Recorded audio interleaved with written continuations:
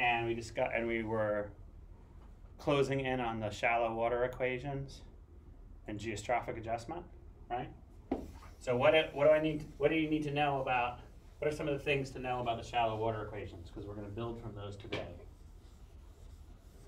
And geostrophic adjustment. Terrible erasing it, but anyway. Shallow water equations are like the simplest rotating fluid model Mm-hmm, we can really do. mm-hmm. So they're like, they're useful and that they're the easiest to solve. Sure. And they have a, so basically, and what, so what asymptotic limit do they apply in? Which is almost their name, shallow water, so what does shallow mean? The, the, If I put H and L up here, what does shallow mean? H is much smaller than L, so the depth is much smaller than the horizontal length scales of interest. So if there are waves, the waves are very long compared to their height. Right? That's the kind of thing we mean for shallow water equations. And what kind of waves are in the shallow water equations? That we talked about a little?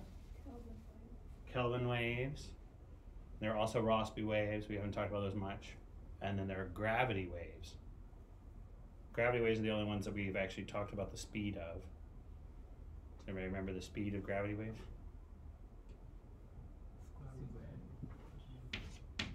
Square root of g h. So this is real. Well, so how fast is this in the ocean? This is kind of a fun thing to do. How big is g? 10 meters per second squared. And how big is h? 4,000. No, we're not. We're talking about the whole thing. For the for the for this part, that's exactly what I want to get at it. We have to use the reduced gravity equations if we want to talk about the mixed layer only. We'll do that in just a second. But this, if I'm using the whole G, I'm talking about the whole depth. Okay, so 4,000 meters. So one, two, three, four, square root of four times ten to the fourth, which even I can do the square root of that. Times ten to the two. um, how fast is that? And these are in meters per second. These are meters. Meters per second. So, what's two hundred meters per second? How fast is that? What's, what's something you might know that travels at two hundred meters per second? An airplane. So these are extremely fast. This is what tsunamis are. They're full depth, shallow water waves. And they travel across the Pacific in a matter of 10, 12 hours. I mean, that's how fast these things are. Okay. So if we are solving a set of equations that have things that are pinging around this fast, what is that going to do to our time steps? Does everybody know the CFL limit, the Courant Friedrichs Lewy limit? It says that the grid scale over the time step, this has to be, let's make sure I get it right, greater. So this is in order to have numerical stability, basically the crossing time it takes for a signal to cross a grid cell in your numerical model versus the time step of your numerical model has to be faster than the fastest traveling thing in your system, the fastest traveling signal, otherwise it blows up. So if this thing is fast enough to cross the whole Pacific in a matter of hours, what does that mean about our time step in our model?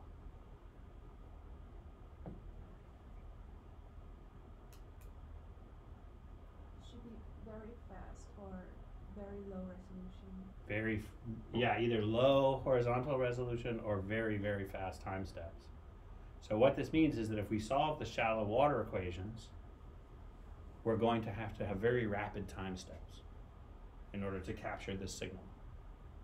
So one thing we could do is we could use the reduced gravity shallow water equations and only worry about the surface. we saw that the equation, the shallow water equations in reduced gravity look like what? What changes? G changes to be G prime, where G prime is something like that, which is, sorry, which is the density difference above the non-moving layer versus the density of the non-moving layer and times g. So how much might that be? How much does the density change in the ocean versus the background density level? Very small. That was the basis of our Boussinesq approximation. So for something like the mixed layer base, this might be 1% of G. So say that. And also, now we're talking about the thickness of the active layer, which might be the pycnocline or might be the mixed layer or something, but in any case, it's going to be a smaller h, just write it that way for now, which is probably only, say, order, let's go 1,000 meters, so I can still take the square root. This is important. okay, so we just dropped two orders of magnitude because of this and we, the four becomes a one. So now, one times, or ten meters per second. This is still very fast compared to a typical ocean velocity, but it's not ridiculously fast. So this would be manageable. The planetary geostrophic and quasi-geostrophic equations are an even better approximation than this because they do what we did at the end of the geostrophic adjustment problem. So geostrophic adjustment, how did it work? We put a blob of stuff in, or an initial condition that was not in geostrophic balance, and then what do we do?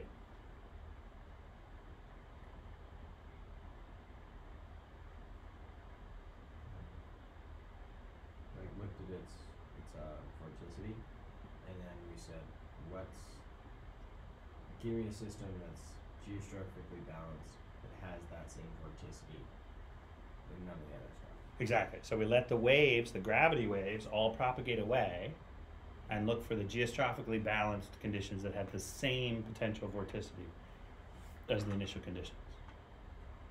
So when we go to the geostrophic equations, we're going to do that. We're just going to forget about everything that's not geostrophically balanced, or at least almost everything. Leading order, we're going to be geostrophically balanced, so we're not even going to solve for the gravity waves at all. We're only going to solve for the slower moving geostrophic phenomenon, which means we're not even going to have to deal with this reduced gravity thing. So, in a shallow water system that resolves the surface, you might have a 10 minute time step. In a reduced gravity one, for a, you know, like if it was a, say, a 100 kilometer grid, you would have a 10 to the fourth second time step. So that's like a few hours. In a QG or planetary geostrophic model, you could have a time step that was a week. And so for the same horizontal resolution, you can everything is moving slower, so it's easier to take bigger chunks. So the planetary geostrophic equations, the quasi-geostrophic equations, just like the Boussinesq equations filtered out sound waves and made it numerically more efficient to solve, the planetary geostrophic and quasi-geostrophic equations are going to filter out gravity waves and make it more efficient to solve. So we're only looking at the slower things. So what kind of applications are good to only look at the slower things?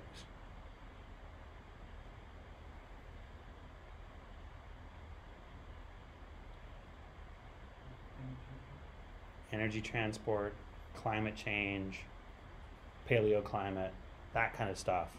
Obviously, we can't solve maybe coastal problems like tsunamis and wave inundation and flooding because all the gravity waves that do that stuff are missing from the system. They're not totally missing exactly. We won't really go into great detail with this, but we'll see. At least I will tell you now that what happens is, is they just become infinitely fast. So the geostrophic adjustment becomes instantaneous in those systems. So we don't ever consider initial conditions that aren't already in geostrophic balance. We just to say all that other stuff is gone first. And when we force the system, we never push it away from geostrophic balance. We just work hard on the boundary conditions to only force the geostrophic modes. It turns out in weather prediction, this is a really complicated thing because you collect observations that say, like, the state of the system is this, and it's got lots of gravity waves and crazy things and noise in it. And if you just initialize the model that way, most models will blow up. So there's a lot of pre-treatment of the observations to make sure that they're not overly exciting all these other things, sound waves, gravity waves, etc. So one of the big fancy things about data assimilation is trying to manage the fast modes versus the slow modes. so one last thing because this is cool. So um, what's his name? Lewis Fry Richardson. So Richardson number. Remember we talked about that? So in the 1920s, maybe nine, maybe teens, 19 whatever 15s, um, he decided he wanted to do a numerical weather forecast. Um, so he discretized the equations of motion and got a room full of calculators, that is, people with adding machines. and they tried to calculate a weather forecast for Europe, and it blew up. It did not actually converge to the right weather. And the reason why, two reasons why. One, because they didn't know about separating the gravity waves out of the system and using the quasi-geostrophic equations of motion we're going to talk about later. If you had used the quasi-geostrophic equations, his forecast might have worked, but he used the full shallow water equations because he didn't know any better. And secondarily, the CFL, Courant Friedrichs Lewy, this came in the 1920s. So they didn't even know that you had to limit your time step to make it work. And it was so elaborate to make one calculation that they didn't wasn't like they were going to just change the time step and rerun because it was like a room full of people working for weeks at a time to try and do this for one forecast. So anyway, that's the beginning. And when we, after we get to cute quasi-geostrophic equations, which will probably be on Wednesday, we'll talk a little bit about the first successful weather forecasts that were done at Princeton in the 50s using the quasi-geostrophic equation. So, all right. Since uh, 200 meters per second is not too far from Honolulu and it's not really changing, why it, it is a problem for the ocean level? True. So in the atmosphere, the quasi-geostrophic equations are not as big of a speed up. In the ocean, um, one one meter a second would be a really fast phenomenon. So when we're in the way that this traditionally happened was um, when computers were not very fast, people just didn't simulate the ocean at all, or they just simulated it just as an absorbing layer. They didn't give it currents and they didn't give it waves so that they could take so they didn't have to worry about it. But if you want to do a coupled system like a climate forecast it would have been very in the early days it was very difficult to do that because of the fast and slow time scales so you had to run if you wanted to run a 100 year forecast a 100 year projection that would have been impossible doing both the the fast modes of the atmosphere and the slow modes of the ocean essentially so it's a very stiff problem. It still is a problem for data assimilation now. We still don't really know how to assimilate atmosphere and ocean observations together into a coupled climate model. It's sort of not quite done, and it's because of the separation of time scales between the atmospheric winds and the ocean currents and the different balances that come out in the heat capacity. So it's not as big of a problem for for, for weather forecasts anymore but in the beginning this was a big part of it. And so the quasi-geostrophic equations were invented actually by charney for his phd thesis to do a instability problem which is what we're going to work on next week. But they were the basis for the first weather forecast because they sped up all of this because you could get away without simulating the gravity waves. Made it a more stable system. Okay. Cool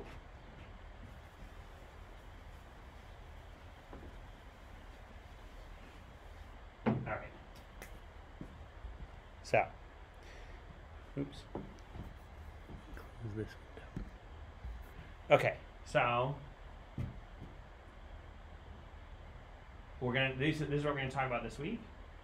So first we're gonna talk about a scaling set for the shallow water equations.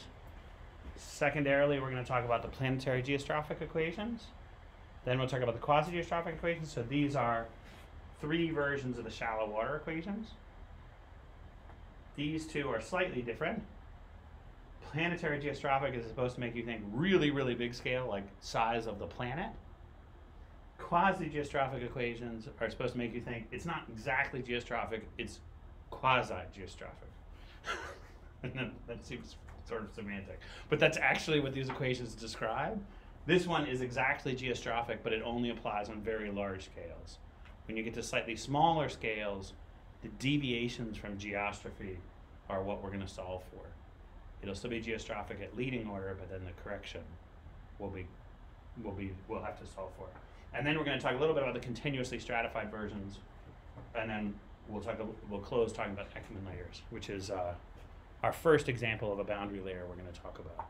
And so it's an ageostrophic. It's kind of the simplest ageostrophic case to think about. Okay. Um, we're doing all this non-dimensionalization. We're not really using numerical models yet. I'm sure we're going to really use numerical models, but in practice, all these systems are solved on numerical models. So when we talk about resolution, it's important to think of the resolution maybe not in terms of an abstract L, but like the grid scale of your numerical model is a good way to come up with the Rossby number. This will be important when we talk about sub subgrid scale schemes after we're done with the basic equations. Okay, so which equations are these? These are tangent plane equations. What approximations have been made to get here? Talked about these before.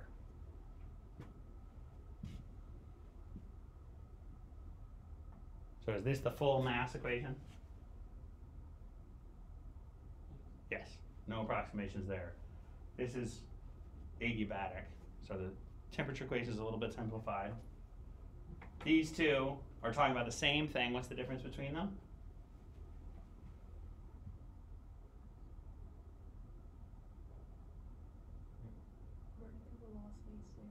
Or zero or small for the hydrostatic balance to be approximate. And this one, the vertical velocity is just as big or Im- contributes importantly to those. So this is the non-hydrostatic equation. This is the hydrostatic equation. And then what about these guys? There's actually another approximation of this and these, which we'll get to in a second. So what kind of a, this is a rotating system, but what kind of a rotating system?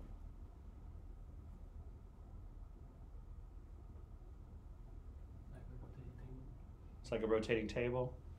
It's not on a sphere, it's a local tangent plane. And because we don't see any Coriolis terms in the vertical equation, we've made the traditional approximation, which is we're assuming that the rotation axis is locally vertical. So it appears only in these equations. F doesn't have to be constant. F could have a small variation, which is called the beta plane. That's a little extension away.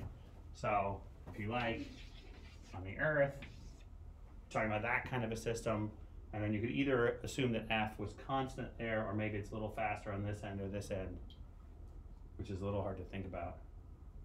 Sometimes I think of them as,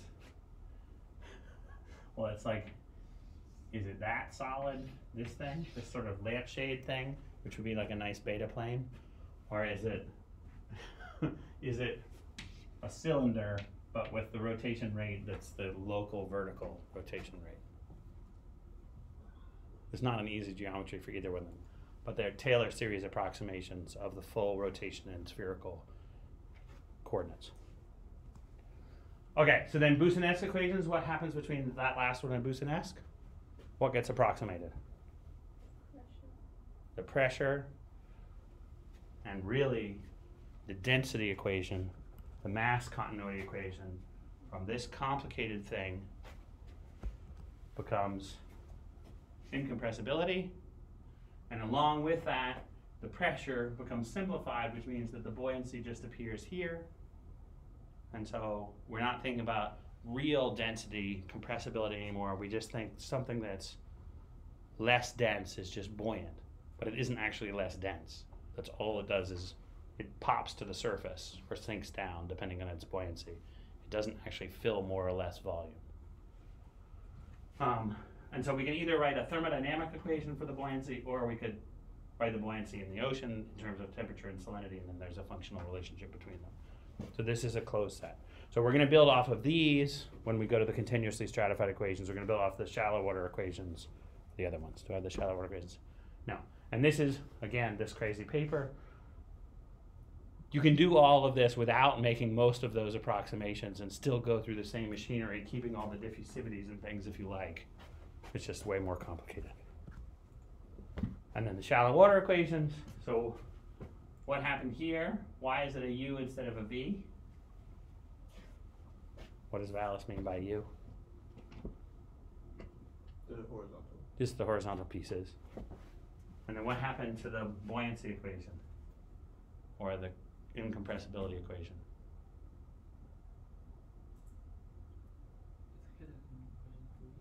It's hidden in in equation three. these. It's because we integrate vertically. So now we don't have, we have a uniform density, uniform buoyancy layer. It's got a top and a bottom. Its thickness is h, and so we're just evolving it based on its thickness. So it's sort of a implicitly vertically integrated equation. And that we can do that because if it's uniform buoyancy throughout the layer, what does the Taylor-Proudman theorem tell us?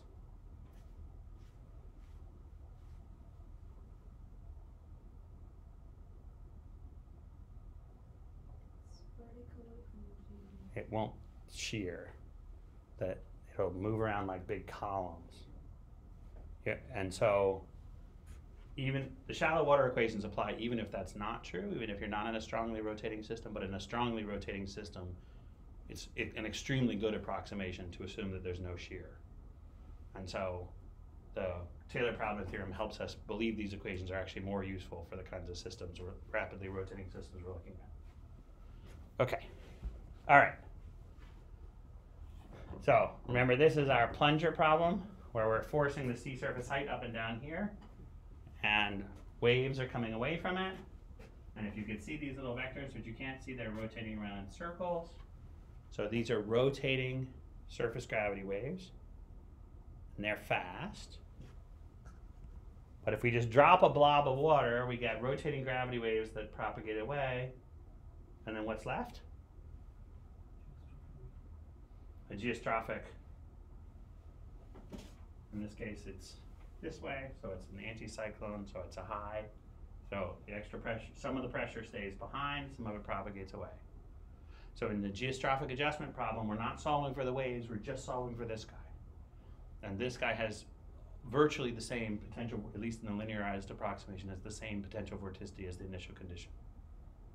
So if we could write an equation for the evolution of the potential vorticity, we could write an equation for the evo- evolution of this eddy without having all those waves on top. That's what we're going to try and do. Um, why didn't you see in the plunger case? Why wasn't there much of a geostrophic? Why wasn't there a geostrophic anomaly there in the plunger case? What's different between the blob drop and the plunger? How uh, frequency of period. Exactly. So the plunger has a frequency, and though I didn't tell you all the parameters, in this case, the plunger frequency was high enough that my temporal Rossby number, where this is the period of oscillation, was actually big. So my Coriolis force was relatively small. Um, but in the blob drop, the period is from the beginning until the end of time. And so the the time scale could be very, very small, could be very, very long. I'm getting myself confused here.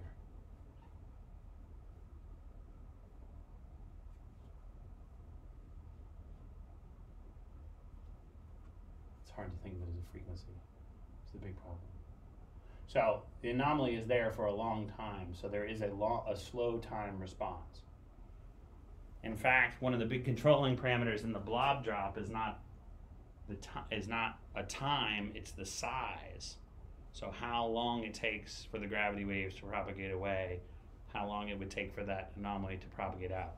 So this is not only projecting onto all times because it's an impulse, but it's a big enough anomaly, it's many thousands of meters wide, that in this system, it actually, well, by the time the gravity waves have propagated across it, there was multiple rotations, and so the geostrophic flow could set itself up. So, the conditions for the for geostrophy to apply are either slow frequencies, so that you have multiple rotations per period, or very large scales compared to the gravity wave propagation speed, so that you're so that or the very large scales so that your Rossby number f u over f l is small. So these are the kinds of things you want to have right. And I should have had that one the other way around. That's why I got it wrong. Whatever. Yes, smaller than one in the first case. This is that one. Does that make sense to everybody? So this is a this is one over a Rossby number. This is a different Rossby number. This is the effective Rossby number. We want them. I had it right the first time. One over that is the Rossby number. It's supposed to be less than one. so the uh, small Rossby number is what we're after, and we could either think of it as a time period if there's a periodic forcing, or we could think of it as U over L being our setting our time scale. So large scales or long time periods. Everybody on board with that? Okay. So let's scale the shallow water equations then. So here's the shallow water equation. So how so we come up with some horizontal length scale, some velocity scale, and basically push all these equations through.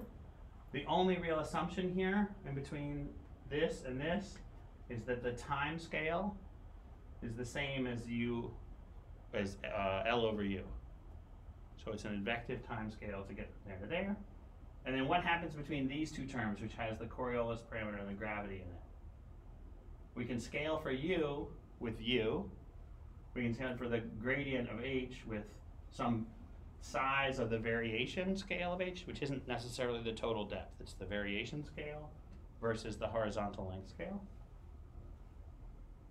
And so, how big is this guy, this variation scale? This is where the geostrophy part comes in. So which, what's the balance here for geostrophy? Which terms are important? Coriolis force. Coriolis force and the pressure gradient force. So these two are both supposed to be the same size for a geostrophic system. These two are supposed to be smaller. So if we want to make these two the same size, that tells us actually how big this curly h is. Curly h is fu l over g. And then if you do some algebra, you can rewrite that as the Rossby number times f squared l squared over g, or the Rossby number times the height, mean height, times L squared over LD squared. And LD in this system is the square root of G times the total depth over F. How big is this thing for the ocean, say?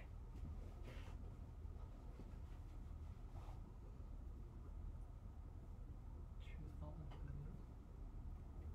Hundred kilometers. How do we get? So this is a big question about whether it's reduced gravity or not. So another way to say this is the distance that a gravity wave propagates in one pendulum day. So if we use the fast one, the 200 meters per second divided by 1 times 10 to the minus 4, it's about 200, no, 20,000 kilometers. Uh, two thousand. If I get it right. Twenty thousand, I think. Ten to the minus four.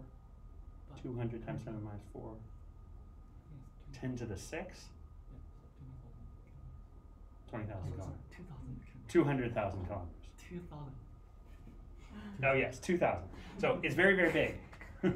is the is the let's see, two times ten to the two, which is what we figured out before, divided by one times ten to the minus four, which is two times ten to the six. So two million meters, two thousand kilometers. Yes.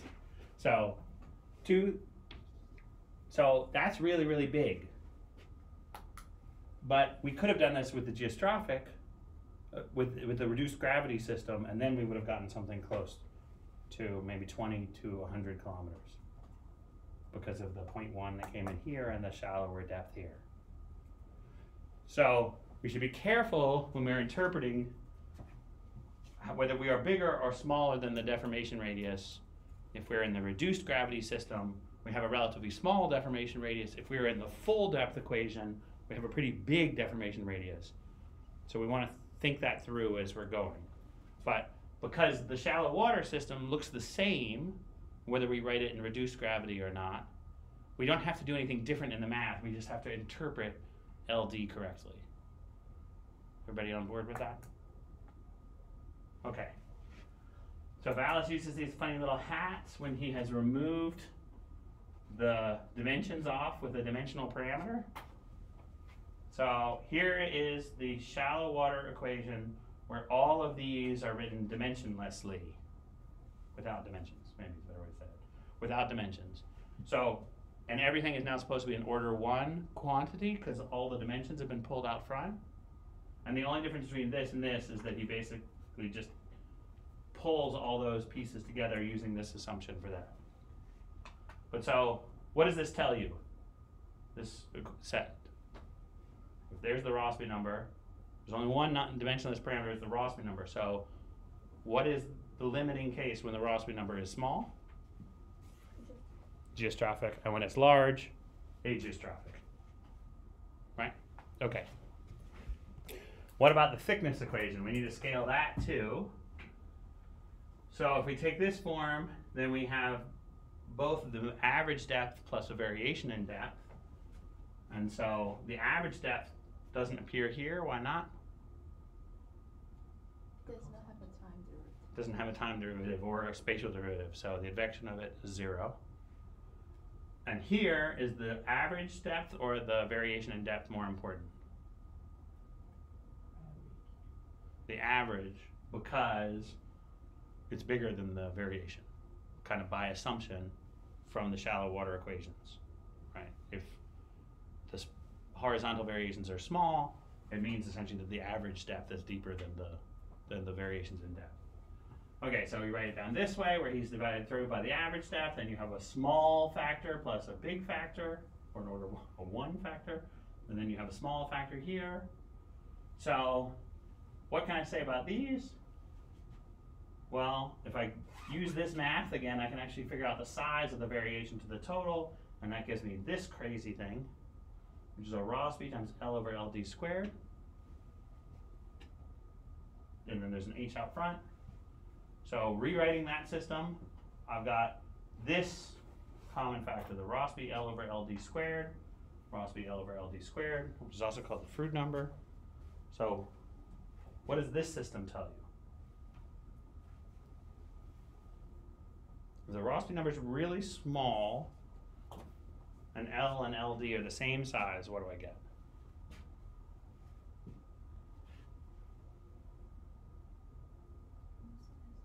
Then incompressible. Incompressible, even stronger than that, horizontally incompressible. So remember the, all those homework problems that we talked about? How is W smaller than it's supposed to be? That's the limit we have here. So W is smaller than it's supposed to be in that limit. We're getting a horizontally incompressible system. But that's not the only limit that's in the shallow water equations. Even though the shallow water equations don't have much W, they have some W. So you can still horizontally compress under what conditions? When this thing is order one or above. So let's write that one down, because that one's a useful one to have. So Rossby L over LD squared. If that is much less than one, then we have incompressible. Horizontally in- incompressible. When is that gonna be violated? If the Rossby number is big, but we're talking geos- geostrophic in our other equations, the Rossby number is always small. So, what can I do to make this number not small if the Rossby number is small? Large scale. Large scale. So if L is much, much greater than LD, so much so in fact that it's LD times the square root of Rossby, then it could be compressible. Even though geostrophic and compressible. So the planetary geostrophic equations are going to be in this limit. We're going to be much, much larger than the deformation radius. Much, much larger than the deformation radius times the square root of Rossby, in fact, which is like slightly different. So if our Rossby number was 0.01, this would be, you know, one tenth of that. So you could actually still be kind of deformation radius scale for small Rossby, but we're big. So, okay. And in that case, we still keep the compression terms. Okay, so without approximations, then this is our shallow water equations, just rewritten with those two scaling parameters. So the game now is to give me a specialized limit, it's called a distinguished limit for Rossby and L over LD that makes sense. So a distinguished limit means a limit which is distinguished by the fact that after you take it, the equation still makes sense. it's distinguished by being sensible. Okay. And oh, so now the question at this stage, which I'm supposed to ask you, what if we redo this in reduced gravity? What's gonna what's gonna change?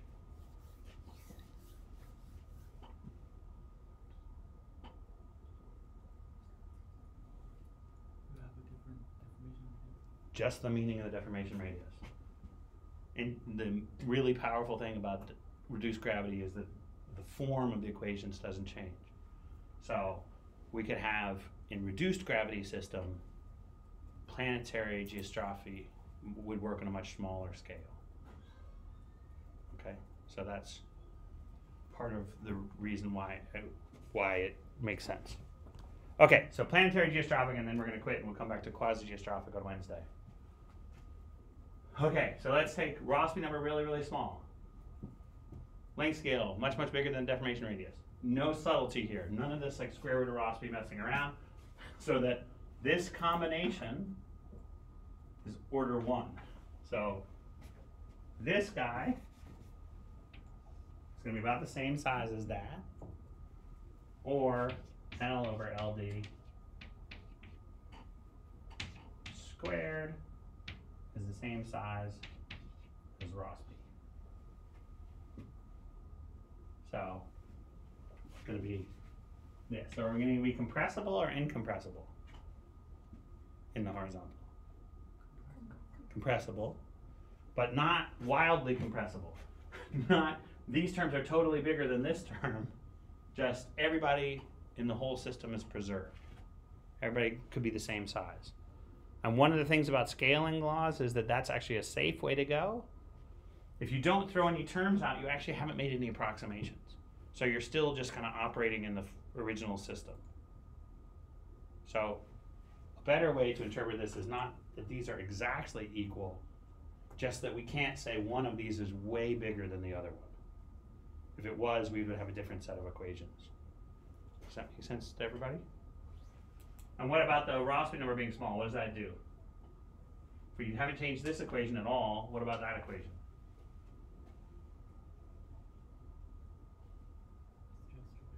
It's geostrophy. So we throw away those terms. But remember we talked about in geostrophy, how do you solve a system where there are no time derivatives in it? We have a time derivative in the h equation. So the way to talk about this system is I start with an initial height field. From that height field, I calculate a sea surface height.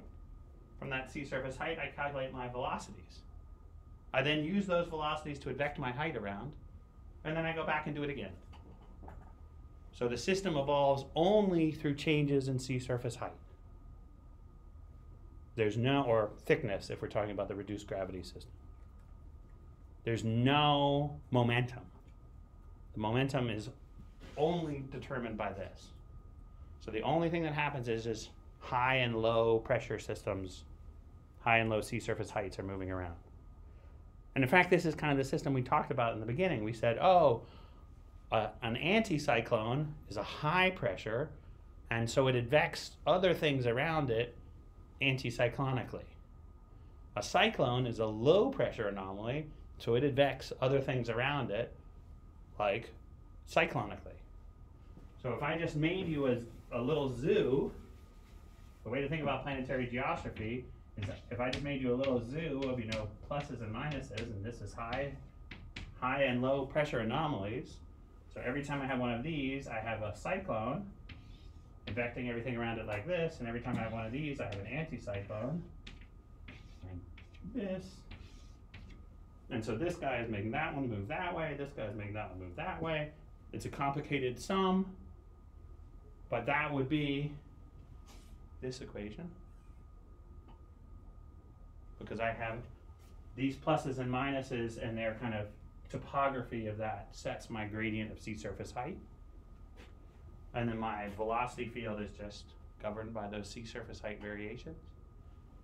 And then I say, in the next time, when I take all those gradients and I move this one and move that one and do the, do whatever I'm doing, and then I do it again. Then I play the game again. I calculate my sea surface height field, I calculate the velocities that come from it, and then I vector around.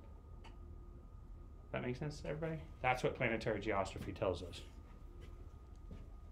Okay? And because we have both terms in this equation, these could collapse on each other and add up or cancel out. Like we can actually converge. The anomalies could merge into each other just by adding together their heights.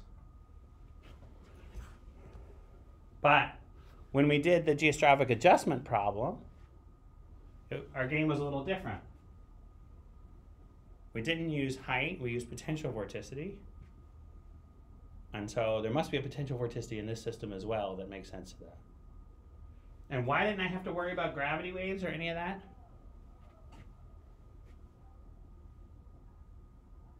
Because we have assumed that geostrophic balance. We assume the geostrophic balance in the beginning. As soon as we have that height field, the only thing it's allowed to do is set up a geostrophic flow. It's not actually allowed to run away as a gravity wave. So the assumption of strict geostrophy has filtered out the gravity waves. They're not there anymore. Okay? So we don't have the geostrophic adjustment. It was already geostrophically adjusted at every instant. As soon as you determine the height field, it's geostrophically adjusted. And then it's advected by geostrophic flow, but it's assumed to be geostrophically adjusted again right at the next instant. There's no velocity independent of geostrophy, and there's no sea surface height independent of geostrophy. They're linked diagnostically. So you can't have gravity waves, which are ageostrophic. Okay. We could also put these put those two equations together, and instead of this potential vorticity, we get this then. Can why is this why does that make sense? And actually it should have a G on here. This is a geostrophic direction. What's the approximation going from here to there?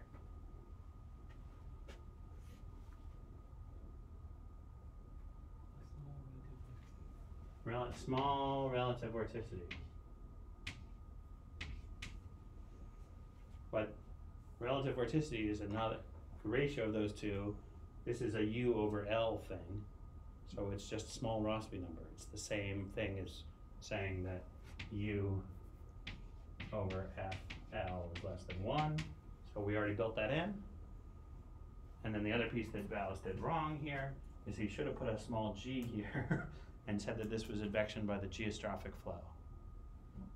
But it is the only velo- advecting velocity in the system is the geostrophic flow. So this is potential vorticity. How is that and this related.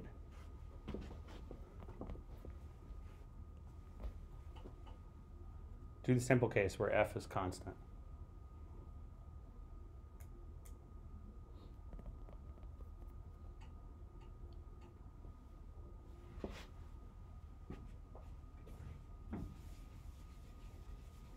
So if I have the geostrophic dt f naught over h, what's that equal to?